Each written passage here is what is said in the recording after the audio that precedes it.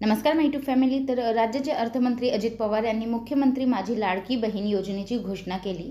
आणि त्याबद्दलचा जी आर जो आहे तो आलेला आहे. ते हा जी आर आपण पाहूया. याच्यामध्ये योजनेचे स्वरूप पात्रता अपात्रता जी कागदपत्रे लागणार आहेत त्याबद्दल माहिती दिलेली आहे.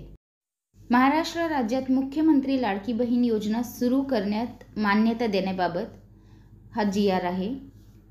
तर याची जी प्रस्तावना आहे ती आपण प्रस्तावना आधी पाहूया. महाराष्ट्र राज्यातील महिलांमध्ये ॲनिमियाचे प्रमाण पन्नासपेक्षा जास्त आहे. तसेच राज्यातील श्रमबल पाहणीनुसार पुरुषांची रोजगारांची टक्केवारी जी आहे ती एकोणसाठ पॉईंट दहा टक्के व स्त्रियांची टक्केवारी आहे अठ्ठावीस पूर्णांक सत्तर टक्के इतकी.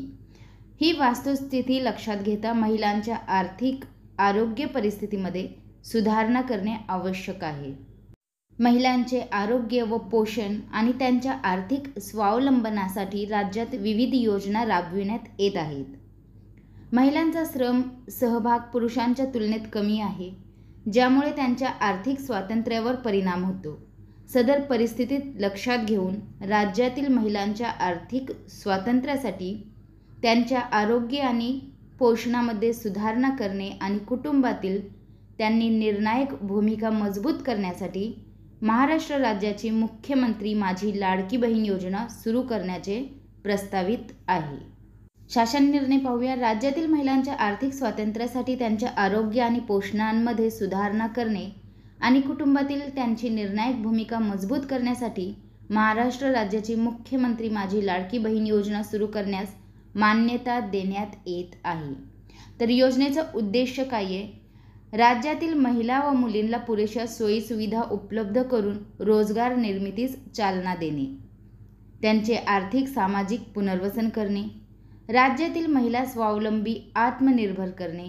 राज्यातील महिलांना व मुलींना सशक्तीकरणास चालना मिळणे.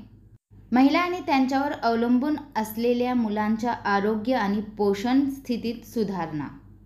योजनेचे स्वरूप पाहूया. पात्रता कालावधी दरम्यान प्रत्येक पात्र महिलेला तिच्या स्वतःचा आधार लिंक केलेल्या थेट लाभ हस्तांतरण सक्षम बँक खात्यात दरमहा दीड हजार इतकी रक्कम दिली जाईल.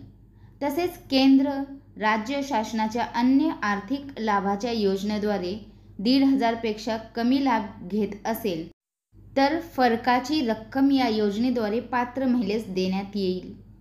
आता योजनेचा लाभार्थी कोण असेल तर महाराष्ट्र राज्यातील एकवीस ते साठ या वर्ष वयोगटातील विवाहित विधवा घटस्फोटित परितक्त्या आणि निराधार महिला.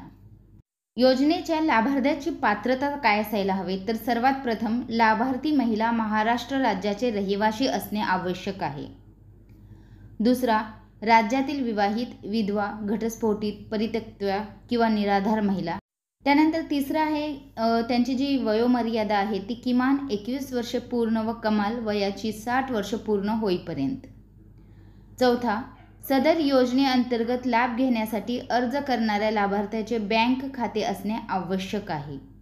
आणि पाचवा लाभार्थी कुटुंबाचे वार्षिक उत्पन्न रक्कम अडीच लाखापेक्षा जास्त नसावी. तर यासाठी अपात्र कोण आहे? ज्यांच्या कुटुंबाचे एकत्रित वार्षिक उत्पन्न हे अडीच लाख रुपयांपेक्षा अधिक आहे. ज्यांच्या कुटुंबातील सदस्य आयकरदाता आहे.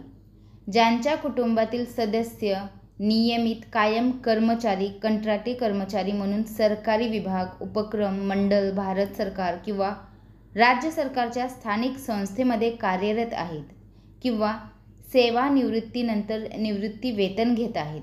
परंतु बाह्य यंत्रणाद्वारे कार्यरत असलेले तथा स्वयंसेवी कामगार आणि कर्मचारी अपात्र ठरणार नाही सदर लाभार्थी महिलेने शासनाच्या इतर विभागामार्फत राबविण्यात येणाऱ्या आर्थिक योजनेद्वारे रुपये दीड हजारपेक्षा जास्त लाभ घेतला असेल तर तो सुद्धा अपात्र होईल. तसेच ज्यांच्या कुटुंबातील सदस्य विद्यमान किंवा माजी खासदार आमदार आहेत ते अपात्र असतील. ज्यांच्या कुटुंबातील सदस्य भारत सरकार किंवा राज्य सरकारच्या बोर्ड कॉर्पोरेशन बोर्ड उपक्रमाचे अध्यक्ष उपाध्यक्ष संचालक सदस्य आहेत ते अपात्र असतील. तसेच ज्यांच्या कुटुंबातील सदस्यांची संयुक्तपणे पाच एकरपेक्षा जास्त शेतजमीन आहे. ज्यांच्याकडे चारचाकी वाहने ट्रॅक्टर वगळून त्यांच्या कुटुंबातील सदस्यांच्या नावावर नोंदणीकृत आहेत. सदर योजनेच्या पात्रता व अपात्रता निकषामध्ये सुधारणा करण्याची आवश्यकता असल्यास नियोजन व वित्त विभागाचे अभिप्राय घेऊन शासन मान्यतेने कार्यवाही करण्यात येईल. सदर योजनेमध्ये लाभ मिळण्याकरिता खालीलप्रमाणे कागदपत्रे सादर करणे आवश्यक आहे. योजनेच्या लाभासाठी ऑनलाईन अर्ज लाभार्थ्याचे आधार कार्ड महाराष्ट्र राज्याचे अधिवास प्रमाणपत्र महाराष्ट्र राज्यातील जन्मदाखला. सक्षम प्राधिकारी यांनी दिलेल्या कुटुंब प्रमुखाचा उत्पन्नाचा दाखला. वार्षिक उत्पन्न अडीच लाखापर्यंत असणे अनिवार्य.